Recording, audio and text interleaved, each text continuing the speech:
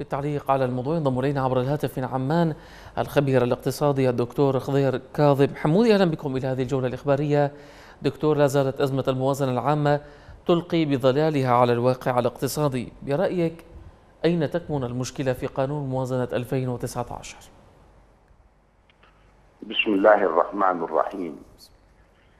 كما آه، أشرنا في في أكثر من آه، مجال أن الموازنة التي بيد هذه الحكومة لا تستند إلى رؤية واضحة وإلى بعد استراتيجي يخدم الشعب العراقي وإنما هي موازنة قائمة على تكريس الجانب التشغيلي وزيادته بشكل ملحوظ وبشكل مستمر لأن مجموع الأموال المنفقة على الحكومات على الحكومة والبرلمان والقضاء زائد رفعه يشكل موازنات دول.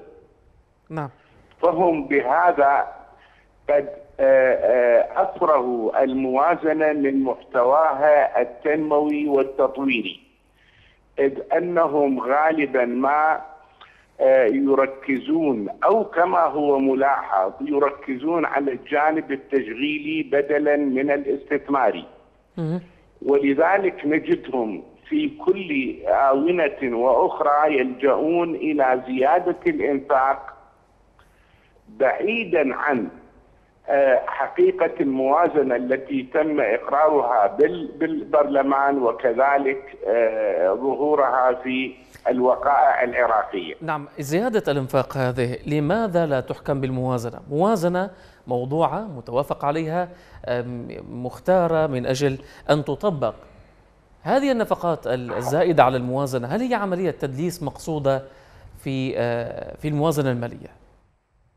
هو أساسا كل ما يتعلق بالموازنة بالموازنات العراقية منذ 2003 لا ينم عن وجود دولة أو حكومة وإنما على مجموعة من اللصوص والسارقين نعم. الذين يريدون نهب ثروات العراق وتبديد أمواله وعدم الركون إلى الإدارة الواعية في إدارة موارد وثروات البلد وبذلك تراهم يتخبطون تارة يزيدون النفقات التشغيلية بأرقام خيالية وكما هو واضح بجماعة ربحة وغيرها وكذلك بال بالرواتب الخيالية التي يتقاضاها مجلس النواب والحكومة من وزراء والقضاء بحيث مبالغ لا يمكن لها أن تكون منطقية. نعم. مبالغ هائلة في حين 90% من الشعب يعيش عن حالة الفقر والضياع والبطالة وعدم وفرة الخدمات والمتطلبات الأساسية له بما فيها الماء الذي يشح الآن في كل العراق وخصوصا محافظة البصرة التي تعاني معاناة قاسية من جراء عدم وفرة الماء الصالح للشرب نعم اللجنة تقول الكهرباء نعم اللجنة نعم. اللجنة تقول بأن أرقام إجمالي الإنفاق ارتفعت بينما المشاريع الاستثمارية انخفضت أرقامها وأيضا أموالها ما تداعيات مثل نعم. هذه الإجراءات برأيك؟ نعم ارتفعت كما أشارت النائبة ماجدة التميمي بمبلغ 900 مليار. ازدادت من 132 تريليون بوينت 2 إلى 133.1 نعم. بمعنى 900 مليار.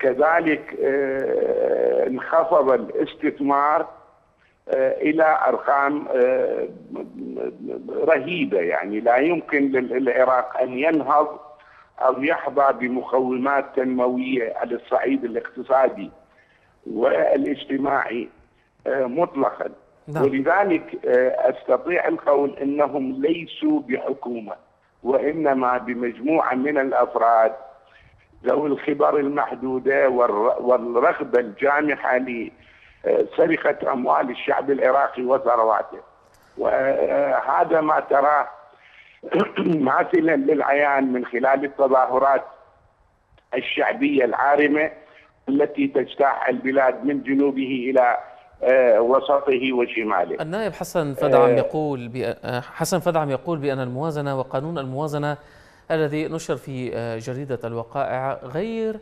الموازنة التي صوت عليها في البرلمان. ما الإجراءات التي يجب أن تتخذ في مثل هذه الواقعة؟ ربما هناك من يعدها تزويرا إذا كان هذا الكلام صحيح. بالتأكيد صحيح وهو أدرى بما أشار إليه لأنه قرة الموازنة في البرلمان يفترض أن تظهر بالجريدة الرسمية بشكلها الذي أقر لكنهم لكي يحققوا السرقات والاستحواذ على الأموال وتكريس الفساد ورغباتهم في تبديد ثروة العراق وعدم آه، قيامهم بأي خدمات تذكر إلى البلد نعم. يلجؤون إلى تصعيد النفقات التشغيلية وتخفيض النفقات الاستثمارية آه، لغرض آه، النهب والسرقة. نعم سيد الدكتور خضير كاظم حمودي الخبير الاقتصادي كتبا عبر الهاتف شكرا جزيلا لك.